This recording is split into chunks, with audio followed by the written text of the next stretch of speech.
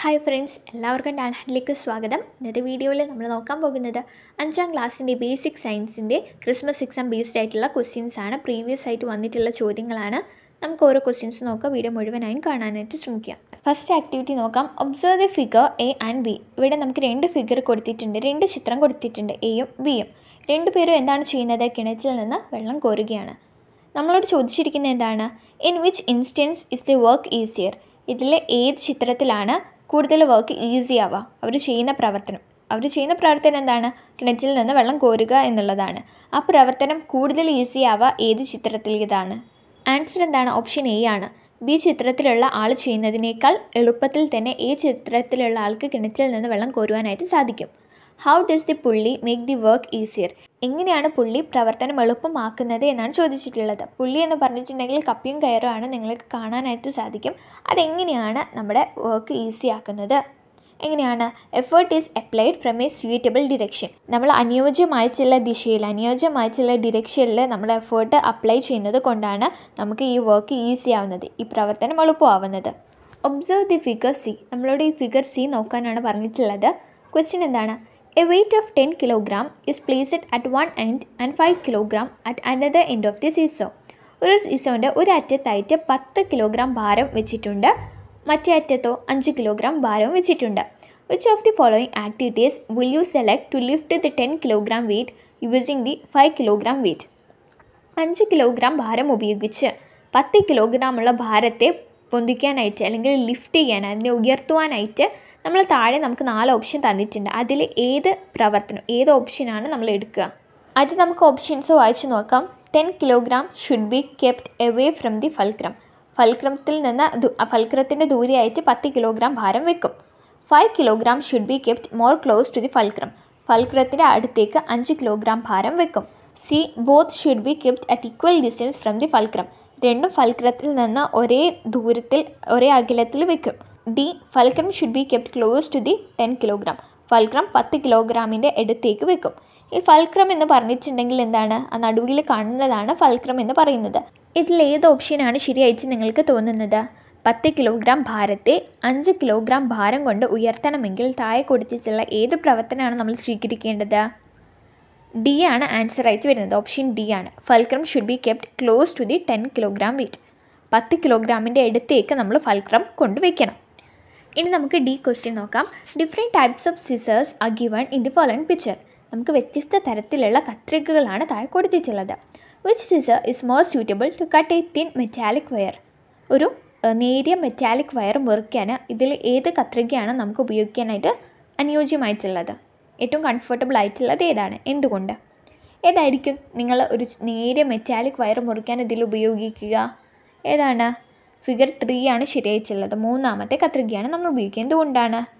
In this scissor the part from which effort is applied is away from the fulcrum ഫൽക്രത്തിൽ നിന്ന് എത്രയോ ദൂരെയാണ് നമ്മൾ effort apply ചെയ്യുന്ന ഭാഗം. അല്ലേ? അതുകൊണ്ടാണ് ഈ കത്രിക ഒരു തിൻ ആയിട്ടുള്ള മെറ്റാലിക് വയർ മുറിക്കുവാനായിട്ട് സ്യൂറ്റബിൾ ആയിട്ടുള്ളത് അനുയോജ്യമായിട്ടുള്ളത്. കൂട്ടുകാർ പരീക്ഷയ്ക്ക് പോകുന്നതിന് മുൻപ് ഫൽക്രം എന്താണ് എഫേർട്ട് എന്താണ് റെസിസ്റ്റൻസ് എന്താണ് ഈ മൂന്ന് കാര്യം കൂട്ടുകാർ പഠിച്ചിരിക്കണം. സോ നമുക്ക് ഇതിന്റെ എല്ലാം ഡെഫിനിഷൻ ഒന്ന് നോക്കാം. ഫൽക്രം അഥവാ ധാരം എന്ന് പറഞ്ഞിട്ടുണ്ടെങ്കിൽ ഉത്തോലകം. ഉത്തോലകം എന്ന് പറഞ്ഞിട്ടുണ്ടെങ്കിൽ ലിവറാണ് ലിവർ ചലിക്കാൻ ആധാരമാക്കുന്ന ബിന്ദുവിനെയാണ് നമ്മൾ ഫൽക്രം അഥവാ ധാരം എന്ന് പറയുന്നത്. The point about which a lever turns is called the fulcrum. അടുത്തതായിട്ട് എഫേർട്ടാണ് നമ്മൾ പ്രയോഗിക്കുന്ന ബലത്തെയാണ് നമ്മൾ എഫേർട്ട് എന്ന് പറയുന്നത്. അപ്പോൾ കത്രികന്റെ നമ്മൾ അറ്റത്ത് പിടിച്ചിട്ടില്ലേ അത് മുറിക്കാനായിട്ട് ഉപയോഗിക്കുക. അപ്പോൾ ആ ഒരു അറ്റ അറ്റത്തുള്ള ഭാഗമാണ് എന്റാണ് എഫേർട്ട് എന്ന് പറയുന്നത്. ദ ഫോഴ്സ് വി അപ്ലൈ നമ്മൾ എവിടെയാണോ ഫോഴ്സ് അപ്ലൈ ചെയ്യുന്നത് എവിടെയാണോ നമ്മുടെ ബലം നമ്മുടെ ശക്തി കൊടുക്കണേ ആ ഒരു ഭാഗമാണ് എഫേർട്ട് എന്ന് പറയുന്നത്. ഇനി അത് ലാസ്റ്റ് റെസിസ്റ്റൻസ് ആണ്. യജ്ഞം ഉപയോഗിച്ച് നേരിടുന്ന പ്രതിരോധമാണ് രോധം അഥവാ resistance the resistive force that is overcome by the effort is called resistance ഈ കാര്യങ്ങളൊക്കെ കൂട്ടുകാർ മനസ്സിലാക്കി വെക്കുക. ഇനി ഈ രണ്ട് ചിത്രം ശ്രദ്ധിക്കൂ. ഇവിടെ രണ്ട് സ്ത്രീകൾ കിണറ്റിൽ നിന്ന് വെള്ളം കോരുകയാണ് അല്ലേ? ഇതിൽ ആരാണ് പെട്ടെന്ന് എളുപ്പത്തിൽ കിണറ്റിൽ നിന്ന് വെള്ളം കോരി കഴിയുക ആരാണ്? ആദ്യത്തെ ചിത്രമാണ് അല്ലേ? അതെന്തുകൊണ്ടാണ്? Here the pulley helps her to draw water in a easier manner ഇവിടെ ആദ്യത്തെ ചിത്രത്തിൽ ആ സ്ത്രീയെ സഹായിക്കുന്നത് എന്താണ്? പുള്ളിയാണ്. കപ്പിയും കയറുമാണ് അത് അവളെ എളുപ്പത്തിൽ തന്നെ കിണറ്റിൽ നിന്ന് വെള്ളം കോരുവാനായിട്ട് സഹായിക്കും. രണ്ടാമത്തെ ചിത്രം നോക്കുകയാണെങ്കിൽ വളരെ പ്രയാസപ്പെട്ടാണ് ആ സ്ത്രീ വെള്ളം കോരുന്നത്. ഇവിടെ നമ്മൾ മനസ്സിലാക്കേണ്ട ഒരു കാര്യം എന്ന് പറയുന്നത് ലഘുയന്ത്രങ്ങളിൽ യജ്ഞത്തിന്റെ സ്ഥാനം മാറ്റി ക്രമീകരിച്ച് പ്രവൃത്തി കൂടുതൽ എളുപ്പമാക്കാം.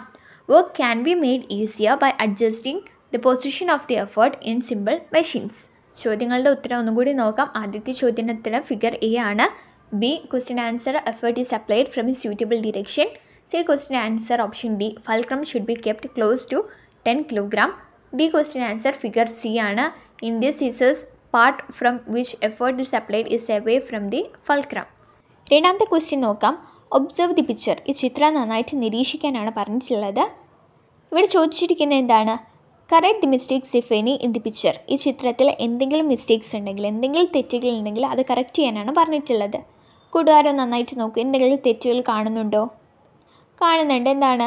The image given is erect നമുക്ക് തന്നിട്ടുള്ള ഇമേജ് എന്താണ്? ഇറക്റ്റാണ് അതായത് ശരിയായ പൊസിഷനിലാണുള്ളത് നമ്മൾ എങ്ങനെയാണോ കാണുന്നത് അതുപോലെയാണുള്ളത്.